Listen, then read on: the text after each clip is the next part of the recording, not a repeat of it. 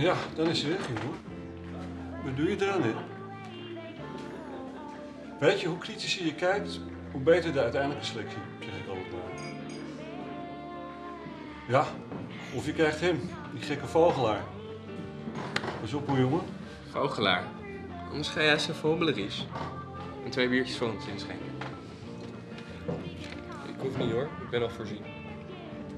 Zeg, eh, hij zit hier al de hele week. Als jij meer dan twee bier kan laten drinken, dan sluit ik de zaak. Sluit jij de zaak, papi. Geef je mij de sleutels, dan drinken wij er nog een. Weet je, ik was ook uit een nieuweling met een laptop. Hoi, ik ben Vee.